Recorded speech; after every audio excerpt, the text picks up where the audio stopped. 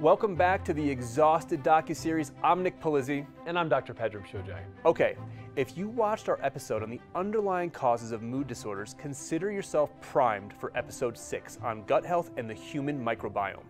Nick, would you please explain why the teachings on mood disorders have anything to do with your gut?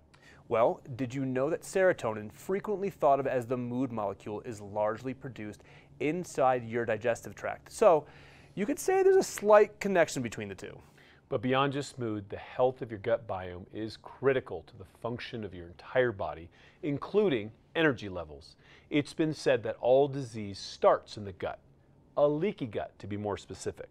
This is a condition whereby pieces of food penetrate through small tears in the intestinal wall and go where they're not supposed to go, your bloodstream. This triggers a cascade of events, none of which are good. The scary thing is that a large percentage of people in the developed world have leaky gut and they don't even know it. This notion that the health of your gut can have a big impact on your mood, energy levels, and immune function was first met with distrust from big pharma and the medical industrial complex, if you will. But once the data from major institutions started to stack up, they had no choice but to listen. And as you're about to witness, this remarkable frontier of human health offers all of us a rare opportunity to hack some of the seemingly unshakable ailments that plague our modern world. Nick will take us there. Before we go any further, what is the microbiome and why is it so important? What are all these critters inside us and why are they there? Are there really viruses down there too? Aren't those scary or can they actually help us? You're about to meet and get to know the vast civilizations in our lower regions. Let's dive in.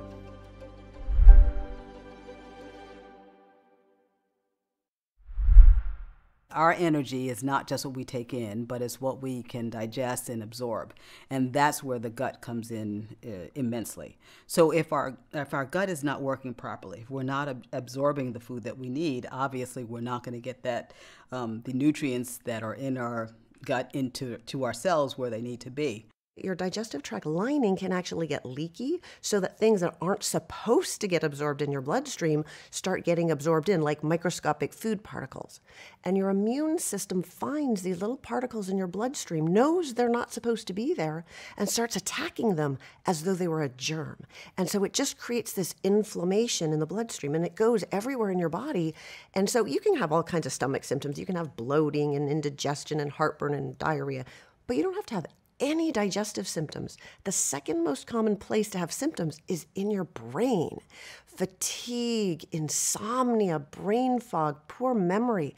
So, if you want to have energy and a healthy brain, it's so important to have a healthy gut.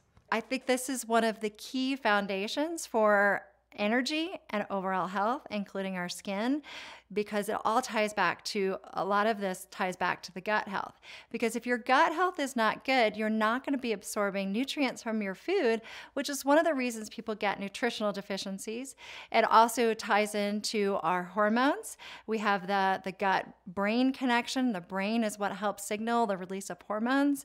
It also ties into blood sugar balance.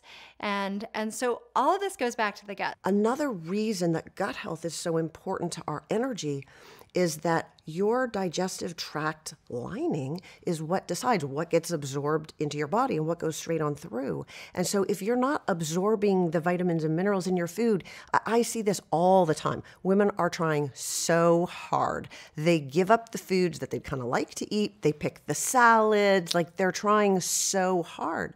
But yet, if your digestive tract isn't healthy, you can't digest the vitamins and minerals, you can't get them into your cells. And if your cells don't have the fuel that they need, then you feel tired nonetheless. While we're in the actual gut itself, if our microbiome, those are the bacteria and that things that are housed in our gut, that keep us safe. And actually there's more there's more there are more bacteria than there are human body cells.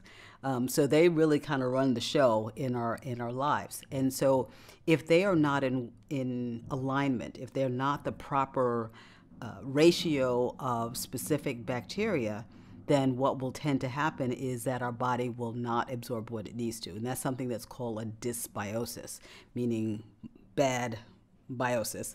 Um, and if that happens, then we don't absorb what we need, we don't get the energy that we need. If you have the dysbiosis going on in your gut, it's going to impact a lot of different conversions that are happening, the absorption of nutrients from your food.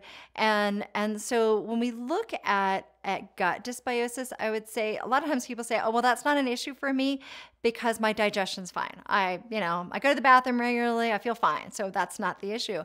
You don't necessarily have signs of digestive issues with gut dysbiosis.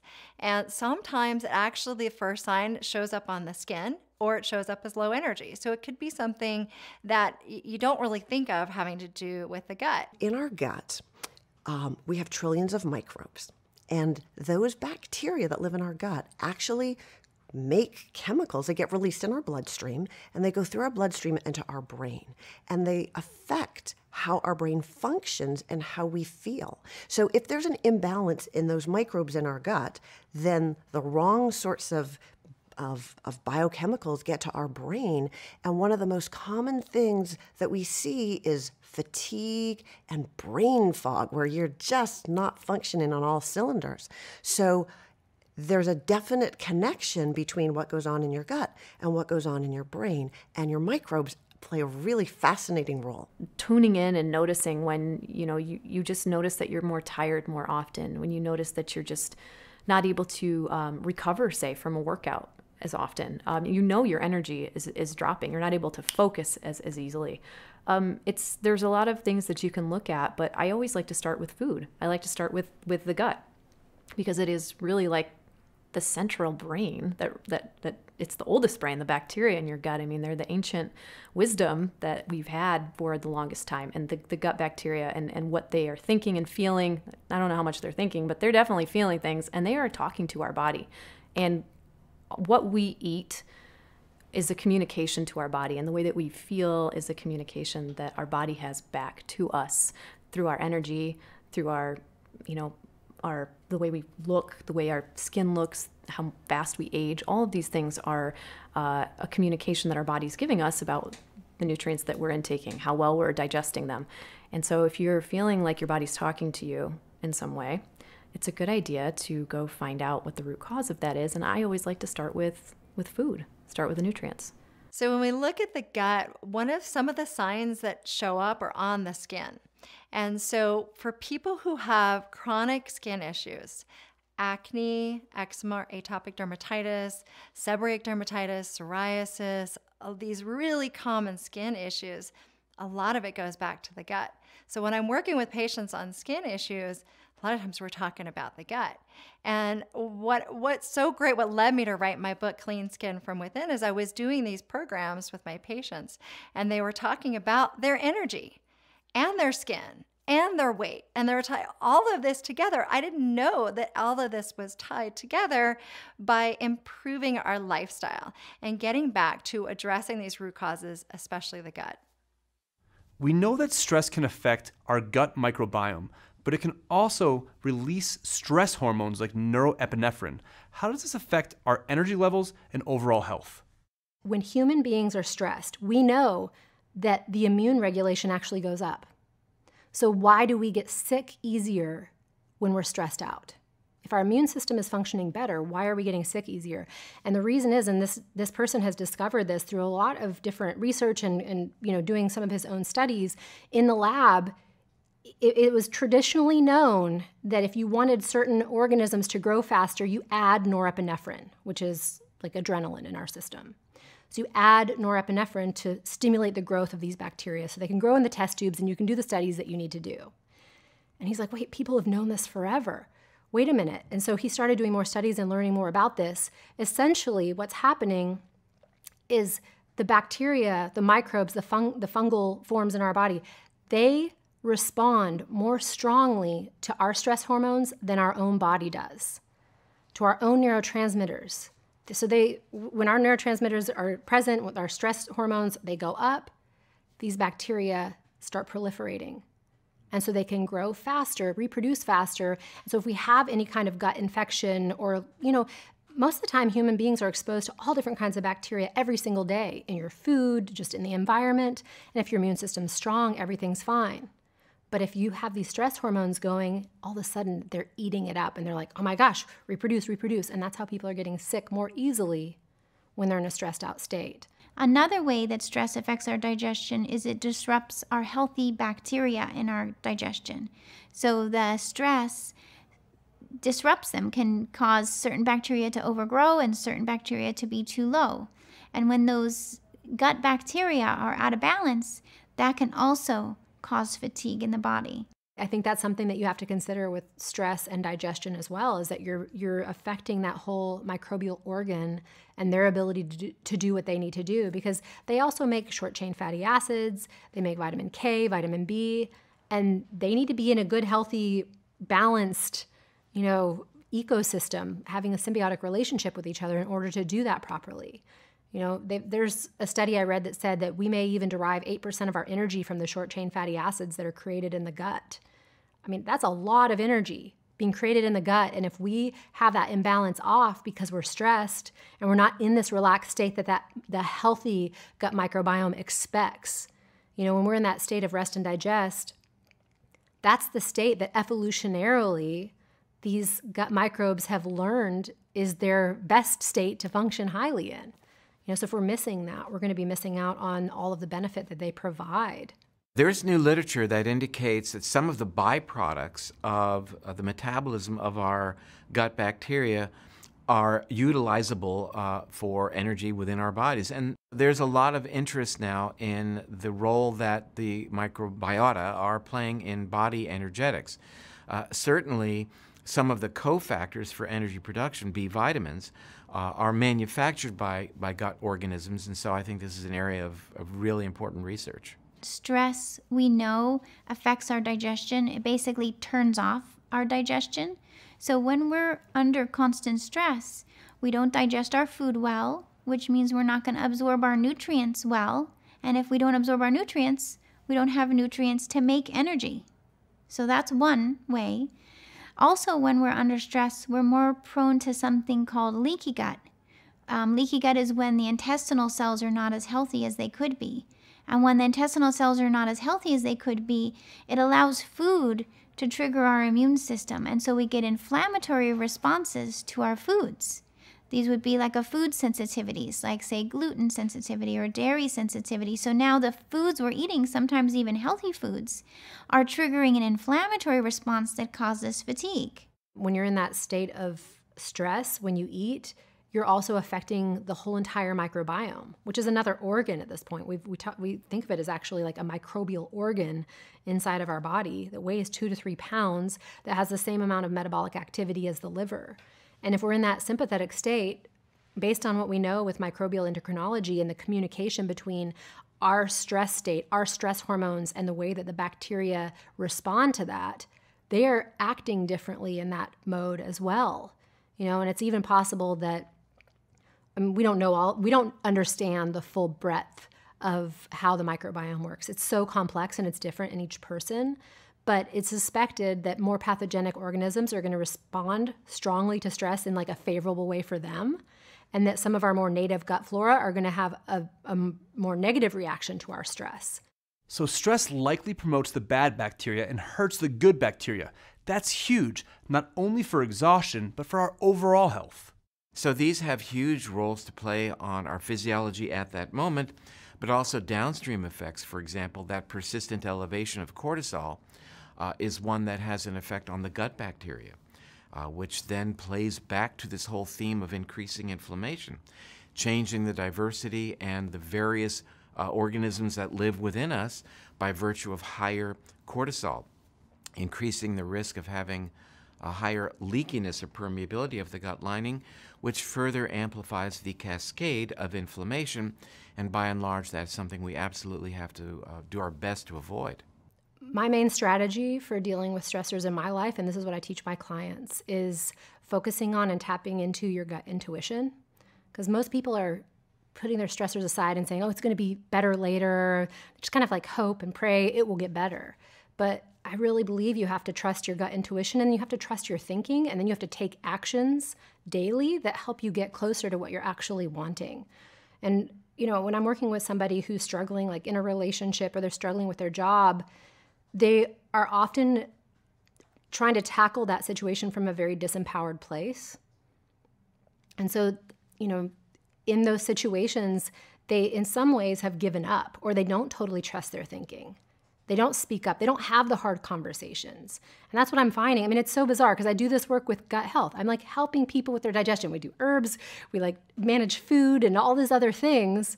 And yet, I so often these days am ending up having these conversations of like, how do you have this hard conversation with your husband about what's going on and what your needs are?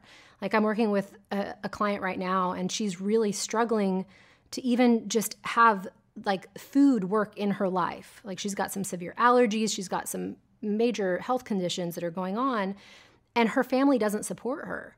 So not only does she have the stress of her health condition that's going on, she has the stress of a lack of support from the people in her life. And she's learned to manage her life around that. But it's like having an arm tied behind her back and like limping on one foot because she's having to now try to help herself. She's exhausted. She doesn't feel good. She's allergic to all these different foods and, and she's getting better and she's dealing with these things. But she's also making all the food for herself and making the food for her family, creating two separate meals. And to me, that's like another additional stressor to her already very stressful situation.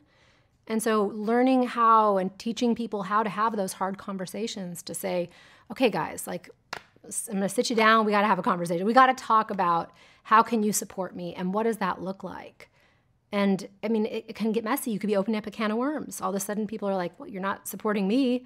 You know, you've been sick for so long. I mean, it can open up a can of worms for sure, but I, I just really believe that people need to start having some of these harder conversations because they're literally creating so much stress in their bodies that it's making it harder to heal.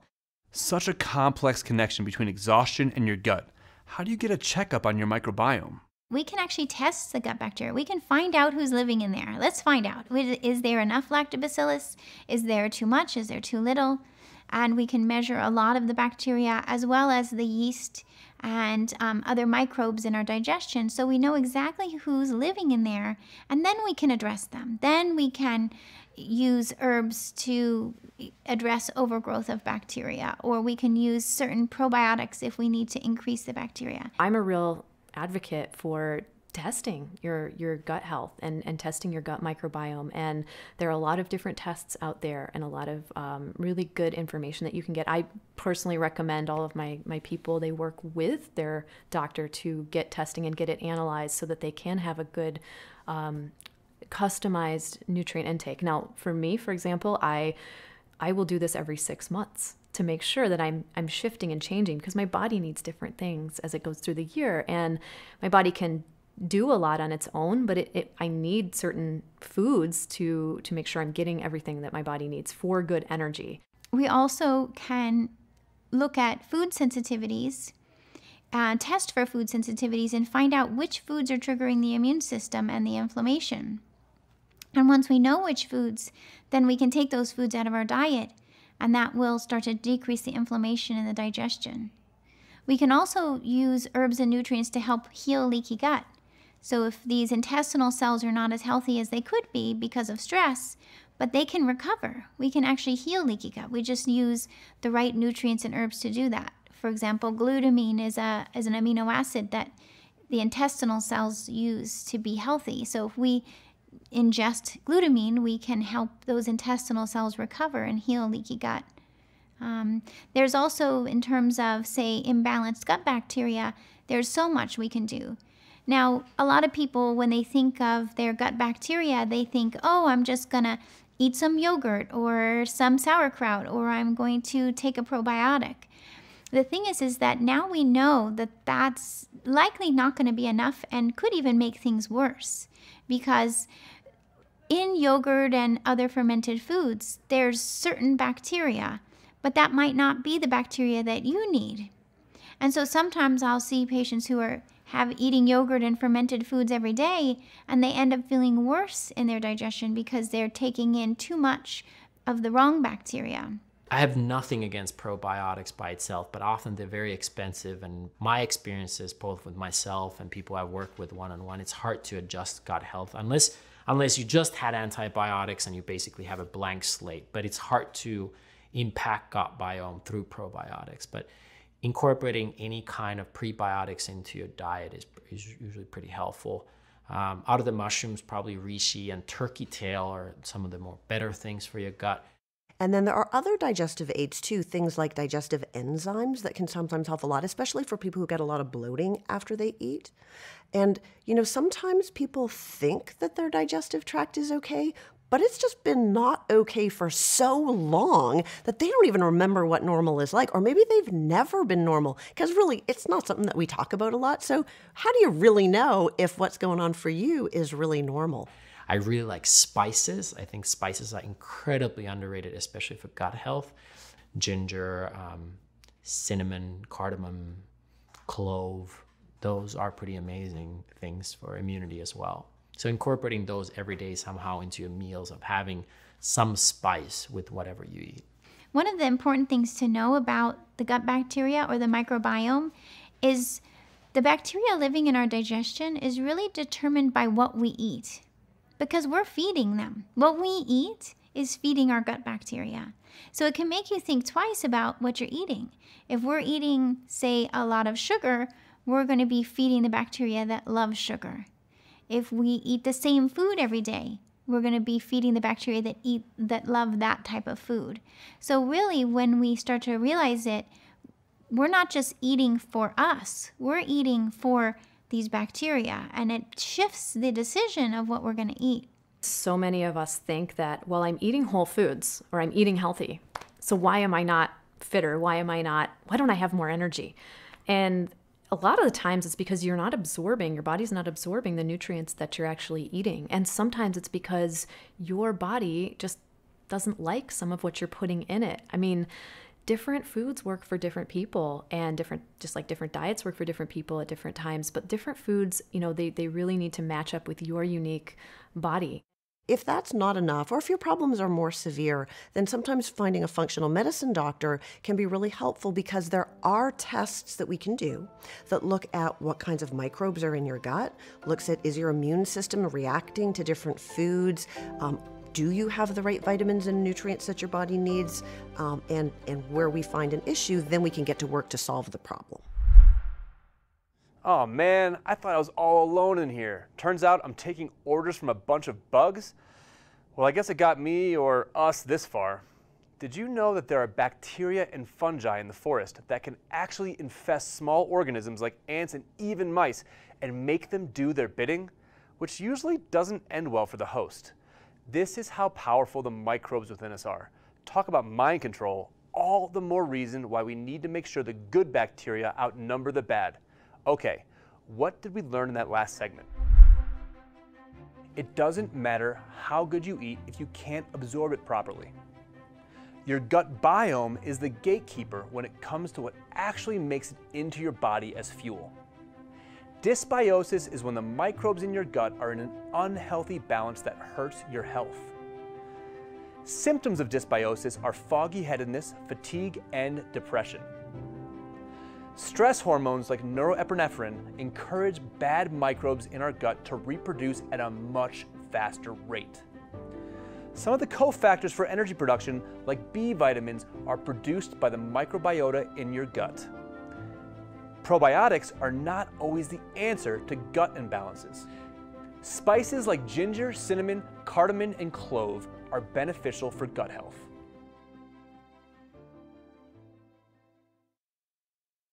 I hope you're enjoying this episode. We'll get right back into it in a second, but I wanted to take a moment to tell you how you can own the entire series. Below this video, you'll find a link to the full Exhausted docuseries as well as a bunch of powerful bonuses that you could bring into your home at a special discounted price. This also includes an Exhausted companion guidebook that's jam-packed with powerful takeaways and action items from each episode. It's loaded with deep dive wisdom that isn't included in our free premiere.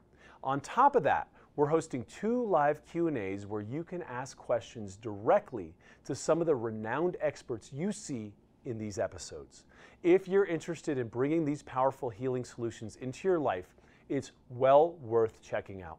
Plus, proceeds from your purchase will help us on our quest to unveil new breakthrough medicines and share this information with the world. Make sure you check it out. Now, back to this episode. Okay, where are we, including your microbes and my microbes, going next, Nick? That is creepy. Stop it with that. Dude, is that you talking or the E. coli? That's seriously, you're embarrassing me. Uh, I'm, I mean, us. Anyhow, you know as well as I do that in this next segment, we're tracking down the whereabouts of your immune system, 70% of which, drumroll please, lives in your gut. This one's a real mind blower to most people. Who knew that the body's primary defenses live in the coating of our intestines? Most of us think of white blood cells when we think of our immune system, but those brawny fellas are only part of the equation. There are trillions of other helpers when it comes to protecting our body from external threats. Turns out that like most things in the human body, there's much more going on than meets the eye. Pedram will expand on this for us. Yep, we're talking about macrophages, cytokines, and a whole host of other microscopic components. These guys are working in unison every second to keep the parts of you that are you safe from the outsiders that are not you. Talk about Taoist philosophy. There's little distinction between self and other. We're all truly one.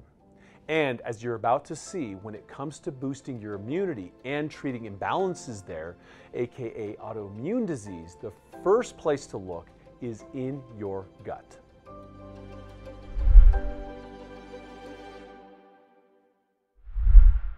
For the most part, when you look at the immune system, the immune system is there really to protect us. So it's there to protect us from foreign invaders. So if something foreign comes in, like a bacteria or a virus, or immune cells pick that up with different scavenger cells, like like called macrophages.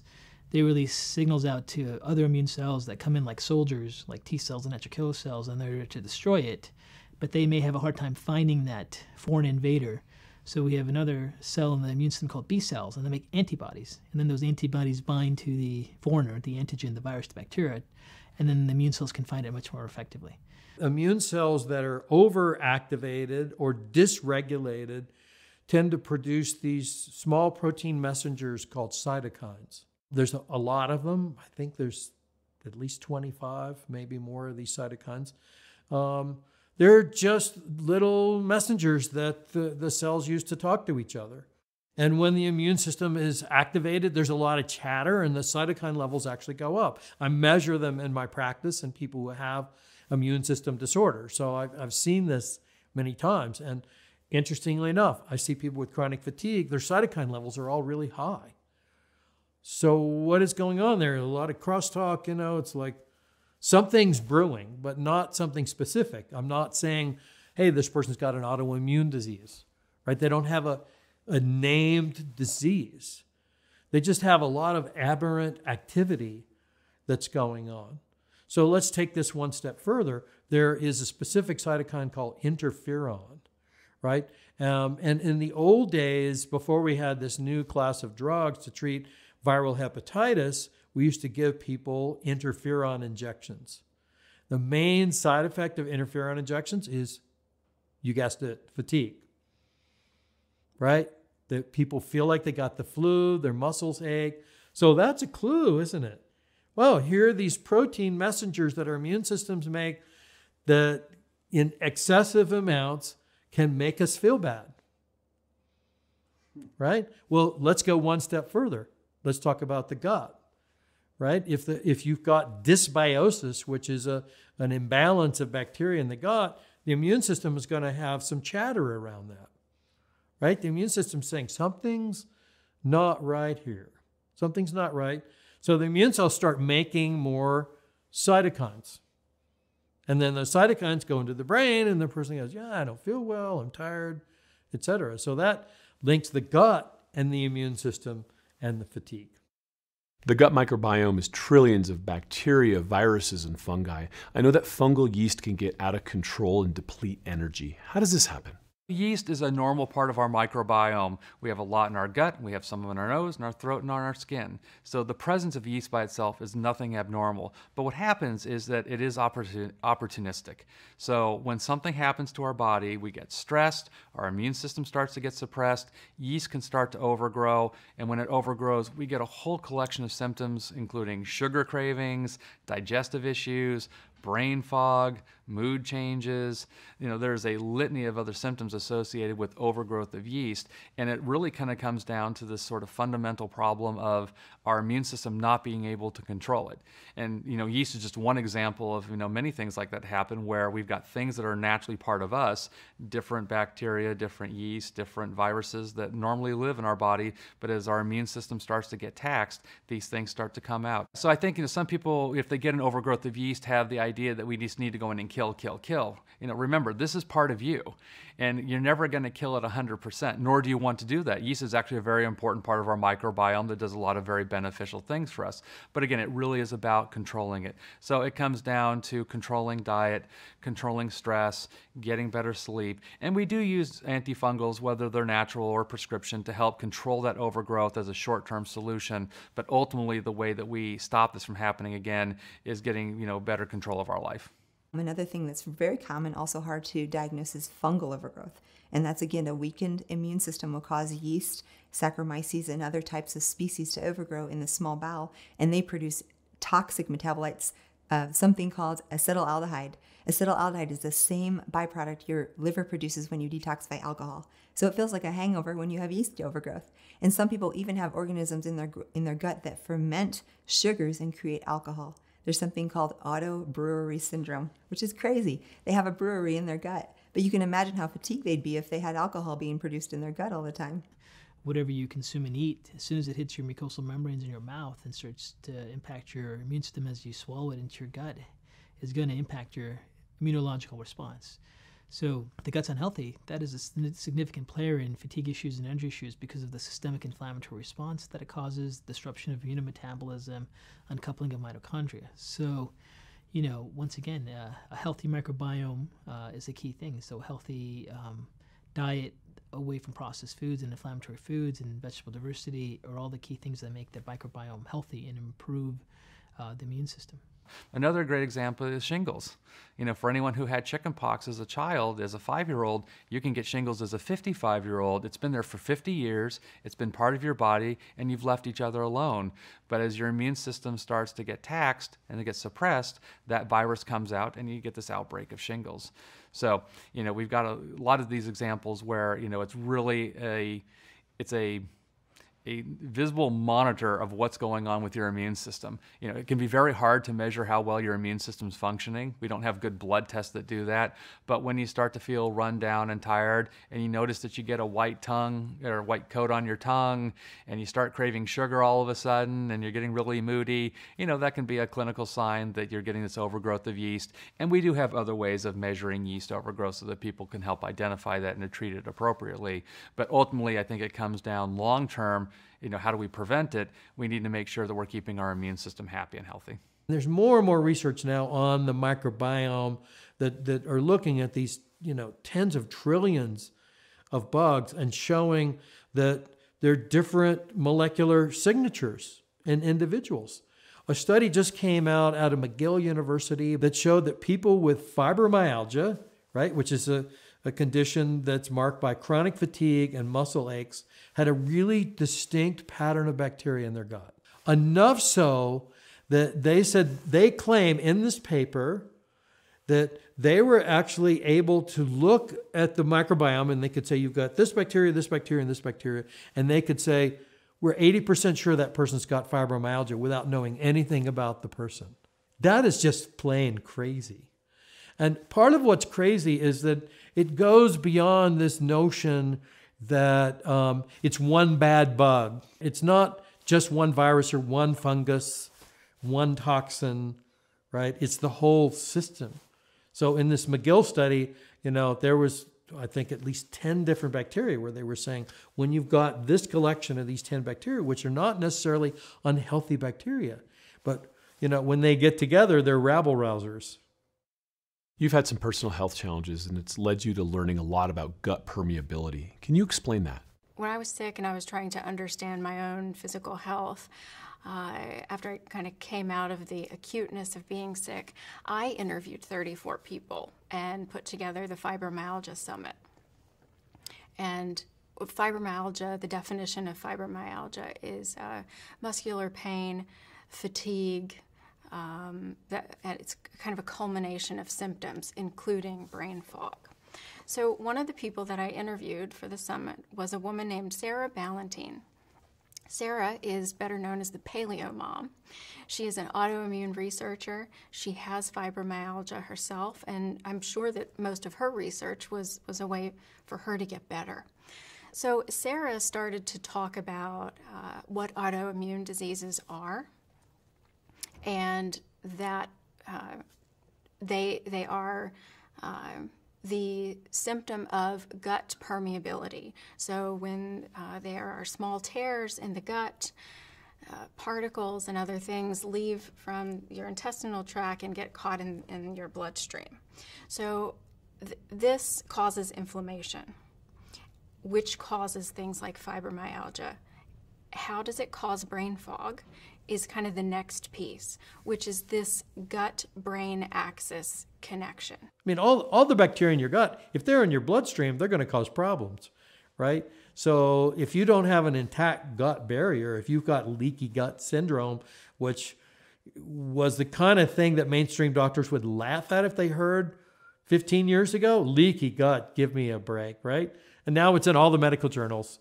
You know, we have a different terminology to describe it intestinal hyperpermeability, right? You know, loosening tight junctions uh, so we can talk about it in a technical way, and somehow that makes it okay. But it's leaky gut, right? Leaky gut is a real thing. It's not made up. It's not alternative medicine.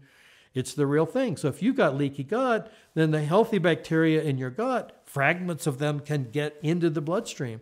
The immune system will see them, react to them, and cause an inflammatory cascade. And that inflammatory cascade leads to cytokine production, and the cytokines make you feel achy and tired and bad. When you have an autoimmune disease, your body's attacking itself. So there's no room for just the basic fundamental support that your body, those mechanisms that your body has to stay in a balanced state, to create optimal health and repair, and to give you energy. So if you end up with an autoimmune disease, of course, there are things we can do to address it and support it. But certainly, that's why I want people to try and avoid getting to that point if you can. If you keep on the path of denying the root causes, you may end up with an autoimmune disease. That is so much harder to treat. Uh, but again, if you have an autoimmune disease, it's not impossible, but you've got to address it. Where do we start? There's so many things going on. You can't go wrong if you start with the gut because it's the it's the interface with our environment. It's this tube that goes inside our body, but it is the one interface we have with the external world because right along that cell layer that lines the gut is the bloodstream, which is the immune system. So pretty much all of autoimmunity and a lot of these things we see manifest, they start with the gut and the gut health. So the gut is really important, and especially with fatigue, because all of these bacteria, if there's too much of the wrong thing in the wrong location, which is the example of SIBO or small intestinal overgrowth, it's not pathogens, it's normal microbes in the wrong location where they have no business being, and then they wreak havoc because they create metabolites that are toxic. They go right into the bloodstream and overload the liver, so it's like a toxic overload from within. The conventional medical approach doesn't really know what to do with autoimmune disease there's not a lot of treatment options for people with autoimmune disease that really help address it or maybe even reverse it. And that it's something you're often told if you have an autoimmune disease, you're going to have this the rest of your life and it's going to be a constant battle, constant struggle. And that's really unfortunate because there are a lot of things that we can do to support the body, the immune system, to help someone live the life that they want to live. In my experience working with people that are chronically ill, if they have food sensitivities, if they have clear and distinct gut permeability, um, their symptom, a lot of my clients, their brain fog will increase if they eat a food that they are sensitive to. So there's a direct correlation between the health of the gut and this experience of brain fog. Now, that doesn't explain all brain fog, but in terms of autoimmunity, th- there's a, a direct connection between that symptom and the health of the gut. So, for anyone who's been dealing with Lyme disease or any other chronic illness, there's always hope. You know, it is built into our DNA to heal It is built into our being to repair itself. I think where we get stuck is that there's other things going on that we haven't either identified or addressed that stop that natural process from happening. So, you know, for people who are feeling hopeless and helpless, and maybe they've already tried 10, 12, 15 other treatments that haven't worked, it may just be that you haven't found that one that has. So it's just a function of really staying in the game, getting your mindset straight and keep working towards you know improving your health. And as you keep working on that you know the body does have that capacity to heal again. We just need to give it the tools to do that. Okay time out. This segment might be one to bookmark. So many folks are suffering from autoimmune disorders and our experts just laid out a pretty extraordinary roadmap to recovery the crazy part is that most of us didn't even know what the term autoimmune disease meant 20 years ago. Thankfully, the science is out now and we understand the symptoms and illness that causes them is very real. Let's recap some of what we just learned. All autoimmune disease begins in the gut. To treat any autoimmune disorder, you need to better understand how your microbiome is functioning. Cytokines are the messengers that your immune system uses to communicate with each other. Fatigue is often a symptom of overactive cytokines and an overactive immune system. The yeast in us is very sensitive to foods we ingest, and overdoing sugar can cause yeast overgrowth. If you have leaky gut syndrome, it allows bacteria in your gut to leak into your bloodstream. This causes an inflammatory cascade.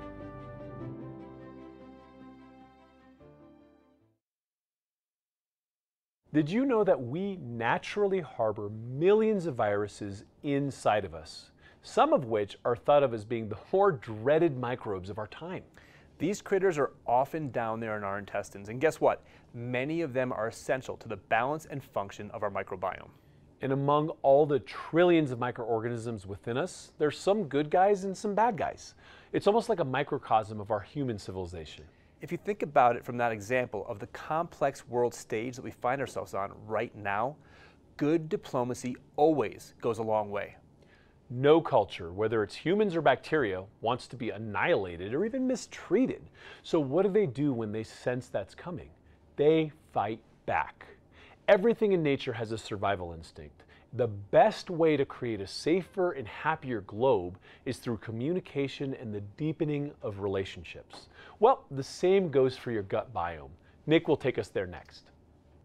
Once we know who our allies or probiotics are, we can empower those bacteria to do their job even better. On the other hand, once we identify the bad microbes, we can figure out ways of bringing them back into balance.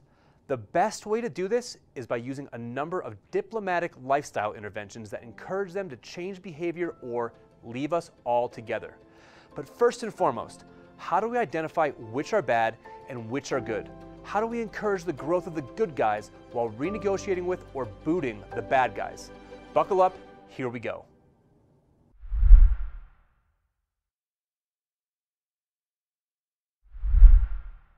What is interesting to know about the microbiome is that the microbiome in a healthy person isn't just good good guys. It's not just probiotics. The healthy microbiome in a healthy person is all different kinds of bacteria. Pathogenic bacteria are present, you know, pathogenic fungi are present. Um, I mean, they're just floating around, hanging out, doing their thing, you know? And if you look at some of the microbiomes of indigenous people, we find that they actually have very highly diverse microbiomes, many, many different kinds of species. And often they even have ones that we now today consider pathogenic. Sometimes people don't know that they have a gut issue right? They, they don't have external symptoms like a pain in their stomach or diarrhea or constipation. They don't have reflux. Those are all the easy flag, you know, we know what we're dealing with kind of things. We know kind of where to go to look for things. But a lot of times people have this fatigue or they have a rash that won't go away or they have their eyes are always bloodshot or um, you know, there are nebul- nebulous symptoms. They have sinus infections that just won't go away, or they have ear infections that happen in our children over and over and over, and we're not sure what's going on. Well, as a as a true ND, right? I'm a naturopathic doctor. We believe everything starts in the GI, right? 80% of your immune response comes off of the GI. Um, something like 80% or 90% of our neurochemistry comes off of the GI. So oftentimes that's the first place a functional medicine doctor or a naturopathic doctor is going to look. And so you may not have GI symptoms, but we may need to go look at the GI to see if there's Yes. Um, is your diversity off in your microbiome? Do you have an infection? Do you have too much Candida albicans, which is a yeast growing in there? Do you have something more pathogenic, like a like a um, hemolytic um, E. coli infection um, that you didn't even know? You just kind of felt run down, and here you all are harboring a, a parasite or a bacteria or a virus in the microbiome that is constantly dragging you down. One of the interesting things about the gut is that we have a subset of bacteria in our gut called the estrobolome. And the estrobolome is responsible for coding for enzymes that break down, breaks down estrogens.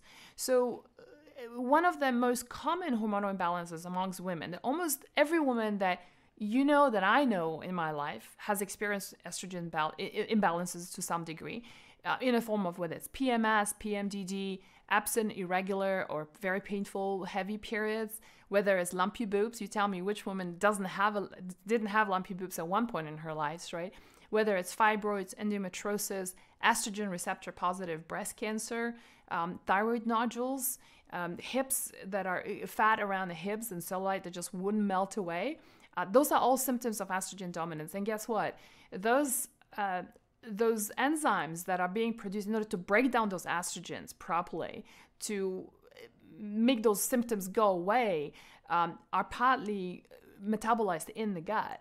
And so so you know it, it goes back to the quality of the bugs if you will that we have in our digestion right? That's going to play a huge role in how we can support these symptoms and support our body metabolizing estrogen properly the microbiome is definitely a hot, trendy topic uh, these days, but it's a very basic part of humanity. We often hear it said that the human body contains about 10 trillion cells, and the five pounds of material that's in your gut contains 10 times as many bacteria uh, or organisms, mainly bacteria, uh, 100 trillion. That number has been revised over the last couple years. It was probably overestimated for our body. So our body is probably more like about 30 trillion and it was probably way overestimated in terms of the uh, number of gut bacteria. And so they're probably also about 30 trillion. So it's more like one to one than 10 times as many. But isn't that amazing? You weigh 150 pounds and your cells 30 trillion, but the material in your gut is only five pounds. And again, as many as is in your body. So you have a little personal zoo in your gut, and there are up to uh, close to a thousand different species that actually can live in there uh, most people have in the range of 400 of the most common. So our personal zoos usually are in the 1 to 200 uh, range, but even that's pretty amazing. So they live in there. They carpet the walls of the uh, large intestine. They're not doing the backstroke through your feces. They're stuck to the walls of your large intestine. They go in there, conquer territory, and live there forever unless they're ousted. Antibiotics are often prescribed for inflammation and infections, but they can have a negative effect on the bacteria within us. How does that play out? Not until recently has leaky gut syndrome come on the map. And what the primary, the original insult was antibiotics. Antibiotics have only been mainstream since the 1950s. And that just destroys all your gut bacteria. There's 500 species, and, and you know, of which lactobacillus is just 5% of the, the load of what we have. I mean, it's very diverse, very complex. When you take antibiotics, you wipe out everything. But bacteria grows really fast. But the bad stuff comes back faster than the good stuff. So people take antibiotics just to have dysbiosis. They don't have good gut bacterial health. You need that bacteria that takes care of 80% of the poisons that come into your body are neutralized by your gut bacteria. You don't have them, you're going to have an immune problem. You have an immune problem, you're going to have an exhaustion problem. So antibiotics are like the worst thing you can do for yourself, just the worst. You know, and Chinese herbs are so good on bacterial infections, including serious things strep throat, impetigo, post surgical.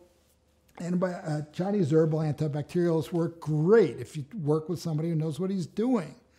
So when we're born, of course, our gut is completely sterile. There's nobody in there yet. And then uh, when we breastfeed from our mother, the milk in the actual um, milk duct in the mother has already started to ferment with healthy bacteria. So it's the beginning of yogurt, basically, that when the baby drinks that. And so within 10 days, the baby has a real nice colony of healthy gut bacteria that live on breast milk. And uh, over time, those gradually change, and other things come in from the environment and the skin of other people and dirt and whatever the baby gets in there. And, uh, and that ends up with your own little personal combination, healthy uh, bacteria. The things that kill them are funky diet, stress, and antibiotics. So if you haven't been exposed, antibiotics being the main one, so if you haven't taken antibiotics, probably you have the same good bugs in there that you had uh, when you were born, one round of antibiotics is enough to wipe out the entire zoo in there. Um, it may or it may not. It's just kind of a chance thing. So some people have taken many rounds of antibiotics and things are still doing more or less okay. But that's it's a serious risk factor. So you kill them off, and now somebody is going to come in and establish territory there. They fight for territory like uh, battling armies. And once one is established its encampment in the territory, it's very difficult to, uh, uh, to kick them out. So antibiotics starts the problem, wipes out the good stuff, bad stuff comes in. People say, I have SIBO. I've been diagnosed with SIBO, which is small intestine bacterial overgrowth. And I say, trying not to be sarcastic, I just say, everybody has SIBO. Every, everybody I test has SIBO. Everybody has SIBO because they have antibiotics. People say, well, I don't take antibiotics. Well, you eat pork, you eat chicken, you eat cultivated fish, trout, you eat cultivated salmon. You're getting antibiotics. You eat beef. You're getting, oh, mine was range fed, not for the last two weeks of its life when it was in a feedlot and given antibiotics. You know, I eat eggs, antibiotics. Try to make sure your food does not have antibiotics in it. It's horrible. It's a, it's a real crisis. It's a real crisis. So that's what starts it. But other things will add to it. All these chemicals in the environment cause dysbiosis. Okay? Uh, if you don't have enough stomach acid, if you take antacids on a regular basis, you're not going to have the pH to promote good bacterial health. So, leaky gut is uh, really a bacterial problem. However, what happens is certain bacteria and funguses like Candida will cause erosion and damage to the epithelial cells of the small intestine and large intestine, more the small intestine. That's what leaky gut is. You've now damaged the cells. You're now absorbing foods before they've been digested. You're absorbing toxins that have not been neutralized. And now you're going to have the, the, the of that, which is fatigue, joint pain, headaches, all sorts of problems. The big toxic load. So, all these things that can interrupt our gut bacteria and cause dysbiosis, what effect does that have on our energy levels? Dysbiosis affects our energy in many different ways. I mean, you can have on one extreme end a gut infection with pathogenic bacteria where I mean, you literally have inflammation being created as an, you know, immune response and the body is kind of under attack. You know, you can have that level of infection. And we know there's all these different pathogenic bacteria that can lead towards autoimmune disorder, um, nervous system issues. I mean, we have so many. Uh, clear like so many bacteria clearly that we understand what they do if they're if those infections are kept around for too long and these people are not dealing with the same modern chronic conditions that we deal with in our culture so what's fascinating to me about that is that you know there's so, well first of all there's so little that we really know about the microbiome we're trying to do all of this stuff and manipulate it in all these ways and it just makes me want to keep getting back to like what are the basics how do we get back to the basics? How do we stop trying to manipulate it so much? Like taking all of these things to, you know, these designer probiotics, as I call them, to try to make it be a certain way. We don't know exactly what that certain way is supposed to be yet. We're still not totally educated about that. Bugs that live in there, mainly bacteria, but you know the odd uh, yeast and other fungi, and even some uh, virus organisms, uh, produce substances that is are there for their own benefit. So they live on our food. That's their job is to help metabolize the food that was that we ate for our own nutrition. But they turn it into things that they want to uh, to produce for their own body. But we've co-evolved with them for so many millions of years that it's part of being human to have those in there, and they actually make some beneficial compounds that support immune function, and in general enhance the environment in the gut so that you can finish uh, absorbing the nutrients from your digestive tract. Again, a little bit of an immune boost, uh, some B vitamins, things like that that we uh, we require uh, in there. So we have this give and take relationship with them. We feed them, and then they give us the things that we need. So having a healthy microbiome uh, is important in terms of the neurotransmitters that uh, your brain responds to. Uh, the nutrients that we need for energy, uh, mood, and just to run every function of the human body, really, we're just absolutely intricately connected. In somebody who isn't as healthy and they're experiencing dysbiosis, that's imbalanced, they're going to have microorganisms in there, in their digestive tract, digesting our food and also digesting some of the other excretions created by other bacteria. Like they all piggyback on each other. It's an ecosystem, they're feeding each other. And some of these microorganisms that we consider pathogenic, we call them that because what they excrete is toxic for us. The organism itself isn't the harmful thing, it's what they're excreting that's not good for us. And so when we look at the small intestine, for example, it's one cell layer away from our bloodstream.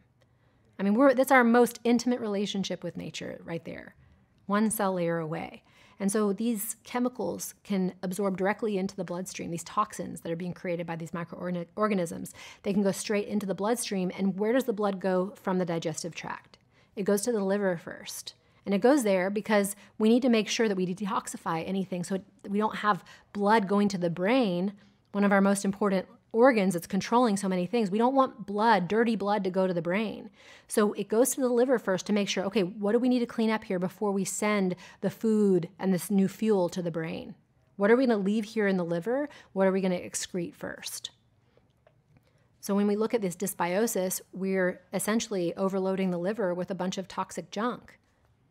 You know, now this person, it's what I call the human sewer situation, where you have this metropolis of bacteria living in your gut and you have this wonderful sewage system for them, your bloodstream.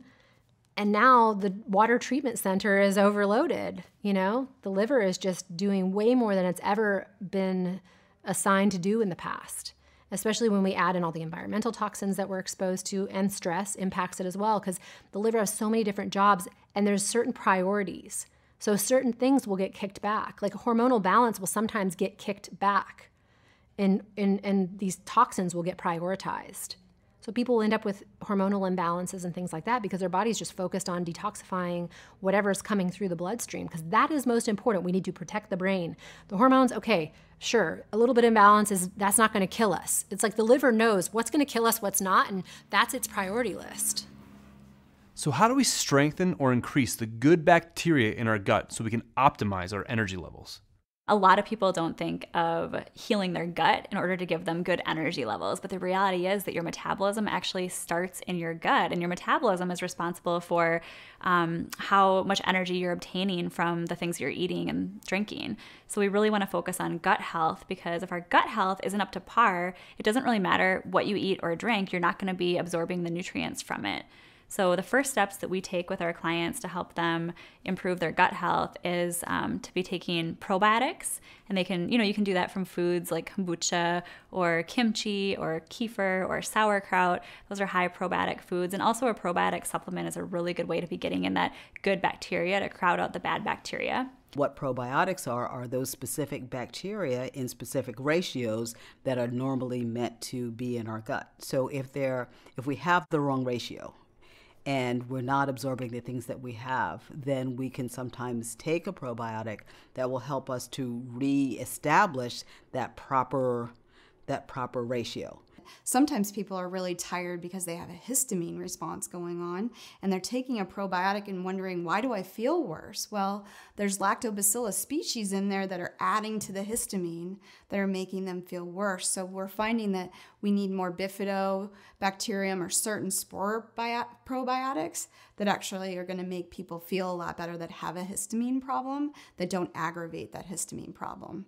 So it's a difference between two different probiotics, right, and how well you'll respond. So not all probiotics are equal.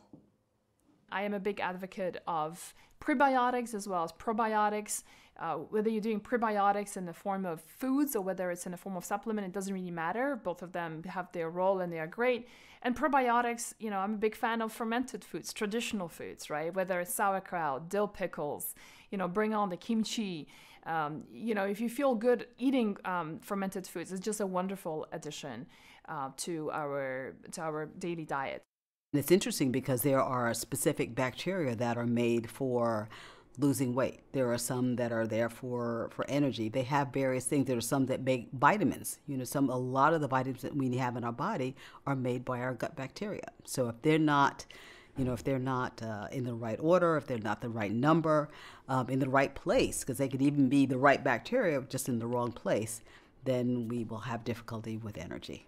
Fermented foods absolutely plays a role in helping people who are exhausted and have low energy because you're helping to create more diversity in the microbiome when you eat fermented foods on a regular basis. And if you look at all the different fermented foods out there, I mean, you can get hundreds of different of you can well, I'll just say you can get dozens of different species of bacteria and yeasts that have a probiotic effect and help create that diversity within the gut microbiome. So yeah, I, I love fermented foods. I think it's a great place for people to start. But the other cool thing about them is that these foods, when they're fermented, they're actually pre-digested. So you look at something like miso, which is basically fermented beans and rice. There's this mold in miso called Aspergillus oryzae, and this mold breaks down the rice, it breaks down the beans, and it actually pre-digests all that protein into these free amino acids. It excretes all these other organic acids that are really supportive. They act as fertilizer in the gut. And that fertilizer helps create the right environment for the right microbes to grow. And there's many other amazing benefits to miso as well, but like I think this is a really cool ferment to think about because it's pre-digested. So we're giving our, our, our body a break. Our digestive systems suck compared to most animals. You know, we have to cook our food, we have to like ferment our food, we have to pre-digest our food in all these different ways in order to actually pull the nutrients we need. So anytime we can give ourselves a hand, I think it's a really smart idea and we can do that very, very efficiently with fermented foods. We want to focus on healing the thin lining of the digestive tract, and glutamine is really, really good for that. Um, you can get that from eating, you know, animal protein. You can also get that from a supplement. And the great thing about glutamine too is it's a precursor for your neurotransmitters, which are your brain chemicals, which determine whether or not you get sugar cravings. So, and we know that sugar can be a really big drain to our energy levels. So the great thing when you're healing your gut and you're taking in probiotics and glutamine is that you actually end up craving less sugar in the process. Plus, you're going to absorb more nutrients because you're healing your gut. We have great tests now to, to look at the microbiome, and we're always learning more. You know, we're at the baby um, stages of really understanding the microbiome, but it's pretty fascinating from what we do know now. And what we do know now is very different than what we knew five years ago or 10 years ago. Go and look under the hood and see what is the root cause of your exhaustion? Stop relying on magic pills and promising supplements that promise to give you that energy back. Look at really what's zapping it, and that's gonna be your answer. Wow. Balancing the microbiome feels like a chess game where you're making dietary moves to move friendly pieces forward and take out those that oppose your overall health. This is a little different than what we learned in health class. Isn't it interesting? The number of existential questions that this episode is raising. For example, who really is controlling your impulses would take a whole new docu-series to cover. Baby steps. Let's rewind for a second and hear what we just learned. The microbiomes of indigenous people are highly diverse, including many microbes that we would consider to be pathogenic. Leaky gut is a modern disease, and one of its primary causes is antibiotics. Bacteria excrete other substances for their own benefit, not for us. Through coevolution, our bodies learn to make use of these. When we have dysbiosis, certain bacteria in our gut are excreting chemicals that are not good for us. Eating probiotics on a daily basis helps to build up the good bacteria while crowding out the bad bacteria. Glutamine helps to heal the thin lining of the digestive tract, a big deal when we're trying to heal leaky gut.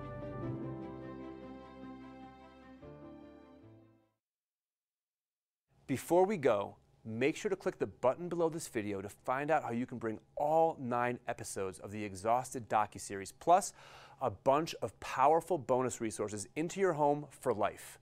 Every one of us deserves to know the full spectrum of healing options that are out there for us. The information in this series is something you will want to come back to again and again whenever you experience a feeling of energy depletion or fatigue, be it with your own health or that of your family and friends you can own the all access package at a special discounted price during this event only. Now is the time. The burning question that's been haunting me this entire episode is if these trillions of microbes in and on us can change our moods and even our thoughts, who's the one steering the ship here? Uh, you are? But who am I? Like, like where am I? Whoa, man, let's save that question for another series. These folks came here to heal their fatigue, not to become more exhausted with your quandaries. Fair enough. Can you tell these good folks what we have coming up next time? I'd love to. Episode 7's coming up. We're going to be diving into an organ that you've heard mentioned a few times in this last episode. It's connected to a number of bodily functions. Perhaps the most important one is to vacuum or filter out the toxins that you're exposed to every day. We're talking about your liver, and considering that toxic load is a huge cause of fatigue and a number of other health challenges, liver health is an absolutely vital part of the exhausted conversation. This is not one to miss. We will see you next time. Bye for now.